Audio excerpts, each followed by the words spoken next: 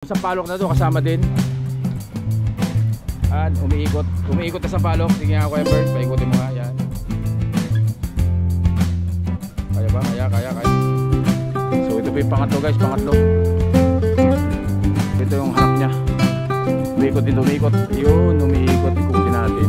Yan. Yan. So ganun din ha. Layer-layer na rin po yan. Nakaprogram na po yan mga kabonsai. So ang gagawin nyo lang ay ganun din. Pag tumubo ang dahon, lumago ang o si what's up mga kabonsai, welcome po sa channel ko guys for today's vlog. Nandito ako ngayon sa UP Diliman Bonsai Society. Makalipas ang ilang buwan din na hindi ko pagpasyal dito. So dito tayo sa bonsai ni Kuya Bernie. Ano? Sa bonsai ni Kuya Bernie, kumuhay ka muna sa vlog. Dahil meron po tayong, alam nyo na, bonsai for sale ulit tayo mga kabonsai. So ipapakita ko sa inyo lahat. Isa-isa yan mamaya kung ano mga bonsai yung ibebenta niya at syempre kung magkano ang presyo mga kabonsai. O so yun guys, huwag natin patagal na pasok ito intro o kaya intro. Pasok!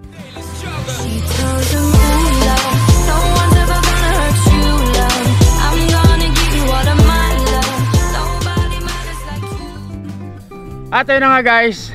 So ito po ay ano, ah, bonsai for sale po yung vlog natin mga kabonsai. Ah, package po ito, pitong pirasong bonsai po ito, pitong, pitong piraso, pitong pirasong bonsai. Ah, isa-isa natin para mas makita ninyo. Sa halagang Mag 25,000 po. 75,000 po. Pitong bonsai, 75. Parang lumabas lang siya ng 10,000 isa. So, isa-isa natin.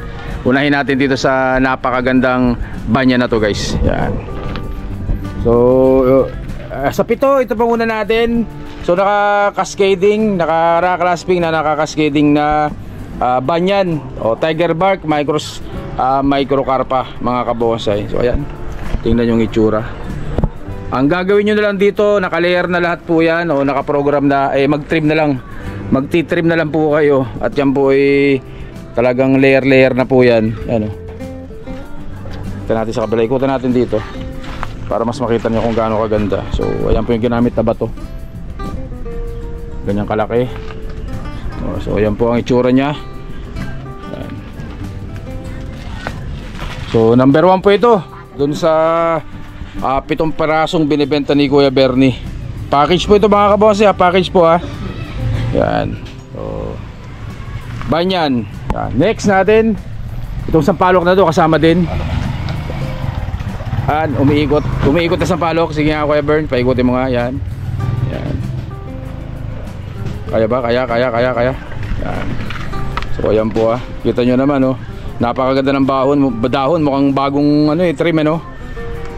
Yung itsura. Punong-puno. Ang itsura mga kabonsai. Kita nyo ng ibabaw. Yan. Napakaganda rin.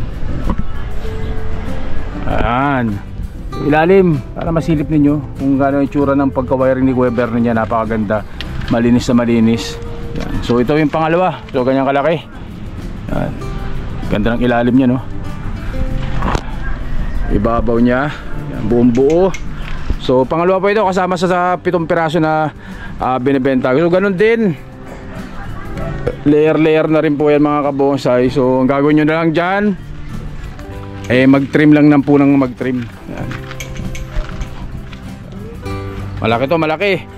Kung maganda sa vlog, maganda sa video, eh, mas maganda po sa ah, personal po yan mga kabonsai. Sampalok naman po, sampalok. Pangatlo. Alin na pangatlo? Ah, ito, ito, ito pala. Banyan din. Yan. So ito banyan din to mga kabonsai oh. Yan. Eh, patong natin Kuya Bern, patong natin dyan sa ah, may maganda na yan. So ito ganun din mga kabonsai.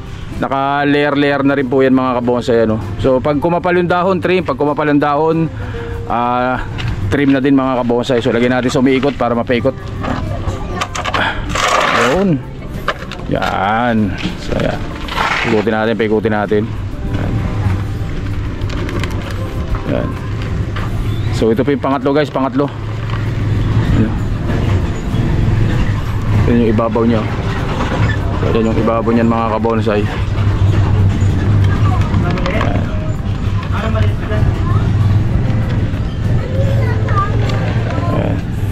So pangatlo po ito, pangatlo, banyan din po banyan.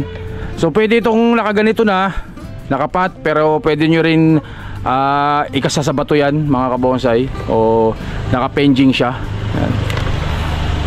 O pwede nyo palitan ng mas mataas na paso, yung parang paso ng pang ah, cascading. Yan. So ito po, pangatlo mga kabonsay ito, pangatlo. Banyan, ayan ang itsura sa ibabaw. Sa ilalim, pakita natin sa ilalim kung anong itsura niya. So ayan po yung ah, ilalim yan mga kabonsay. Yan yung ilalim yan. Yan. So pangatlo po ito guys, pangatlo. Yan. Banyan po, banyan guys ha, banyan ha. So ganyan kalaki. Yan. So may project siya dyan ng fuse para mas mabilis lumaki yung ah, trunk niya o yung trongko mga kabonsay. So ayan po, pangatlo. Banyan po, banyan. So pangapat natin, Kuya Bernie, alin? Ito, ito, ito, ano, kamuning bilog. Yan, so ito naman po yung pang-apat. Kamuning bilog naman po. So ito yung harap niya.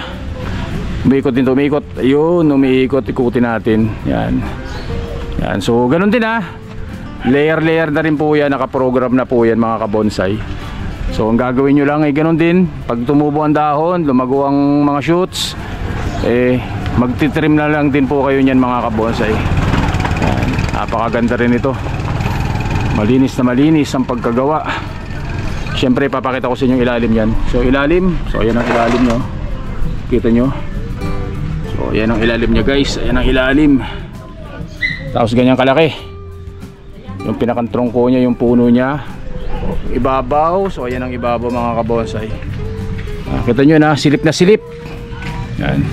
So ito po yung pangapat natin. Ah, kamuning bilog naman mga kabonsay ito pangapat na to. So ganyan kalaki. Yan. Kamuning bilog. Yan. So wala yung sunod natin govern. Ayun, ayun, ayun, ayun. Binuhat, binuhat, binuhat yung ano. Tawag dito. Ah, hibiscus Taiwan. Yan. Ito, hibiscus Taiwan. Malaki rin, malaki, malaki. Yan o. Yan. So ito ay fertilizer po ito yung mga kabonsay, fertilizer yan. Dumi ng ano yan, paniki o guano. So, lagyan na sa likod. Yan, so ganyan kalaki. Parang naka-slanting siya, formahan niya. Naka-slanting mga kabonsay. Lalim. Kita nyo yung wiring yan. Yan. So, ganun din si Kuya Vera, mahilig sa mga ano eh, pom-poms, pom-poms sa mga ganyan eh. Oh. Yung clouding clouding niya, kaya napakagandang tingnan talagang luman-lumang puno na po yan mga kabonsay. Ayun ang ibabaw niya oh. So ang dahon niya lilit na rin. So ganyan kalalaki na lang oh. Sagana sa trim to, kaya napalit niya ng ganyan kalit yung dahon. Ah, hibiscus Taiwan po mga kabonsay, hibiscus Taiwan. Yan ang ilalim para mas makita nyo. Ang ginamit niya ditong fertilizer, ano, dumi ng paniki o yung ano, ah, guano. So nabibili po yan na naka-pellet na. Merong pulbos pero merong ah, naka-pellet na po. So ito yung panglima. Ah, hibiscus Taiwan po, ganyan kalaki mga kabonsay. O, pang-anim natin, pang-anim, pang-anim. So ito naman ang kanyang naka-semi cascade na bougainvillea. Yan, bougainvillea. Yan yung trunk niya. Yan, ang flow ng trunk. Kulay pink to eh, no? Lavender. Ah, lavender ba? So, lavender pa lang kulay nito dati. Yan. Ikutin natin para mas makita nyo guys. Ikot, ikot, ikot. Ano? Yan. Kuting ikot pa. Yan. At makuha natin ang harap. At ito na ang harap niyan guys. So, pang-anim po ito mga kabosay ha. Ah, bougainvillea. So, ang bulaklak nito yung ano, ah, lavender ang kulay guys. Lavender. So medyo pa semi-cascade ng ah, konti yung pormahan yan mga kabonsay. So pangalim natin yan, ang pampito. Yan, punta natin dito. Ah, bluebell. Bluebill. Ah, bluebell, bluebell. Yan. Pampito, bluebell naman ang pampito mga kabonsay. So ito, yan o. Yan o. Bluebell. Ito yung local natin guys, local na bluebell. So tinanggalan na rin ng wire. Ilan-ilan na lang ang naka-wire dyan pero naka layer layer na rin po yun mga kabonsay yan layer dyan dito dito dito so gagawin nyo na lang kaya nung iba pag lumago yung mga shoots putol lang kayo ng putol hindi na masyadong ma-maintenance to so semi cascade trim trim na lang po ito semi cascade mga kabonsay Yan. Yan. So, ano yung tsura nyo? Ilalim. Isilip natin ang ilalim sa kanila para makita nila. Formadong formado. Yan. Ibabaw. So, ayan po mga kabonsay. So, yan ang pampito guys ha. Bulak. Ah, bluebell, ayan ang bulaklak oh. Ayan oh, may natira pa. Ayan. Flowering po kasama sa mga flowering na category ng mga competition yan. Bluebell, ah, ano po ito yung local ah, bluebell po natin mga kabonsay. Yan. At so yun guys, so nakita nyo yung pitong piraso po, ah, pitong pirasong ah, halaman yan sa halagang ah, 75,000 yan mga kabonsay. So puntahan po nyo dito sa ah, bonsai ni Kuya Bernie, dito po yan sa UP Diliman ah, Bonsai Society. Pagpasok nyo ng UP, Badandulo, ah, katapat ng bonsai ni ah, Kuya Michael. Yan, so pasyalan nyo po dito para makita ninyo kung maganda sa video, eh mas napakaganda po niyan sa ah, person. Halos mga semi-finish na po yan mga yan, mga kabonsay. Yung iba halos pabuo na. Kaya pasyalan niyo po 7,000 75k, 75,000 po para sa pitong pirasong bonsai. Papatak lang po yan ng tigsa 10,000. Yung sampalok, eh napakamura na yan para sa, sa 10,000. Yung banya na naka-clasping, eh napakamura na rin po para sa ah, 10,000 niya mga kabonsay. O, so yung guys, hanggang dito na lang po muna. Stay safe at syempre, God bless us all po mga kabonsay. Maraming salamat po. Thank you, thank you.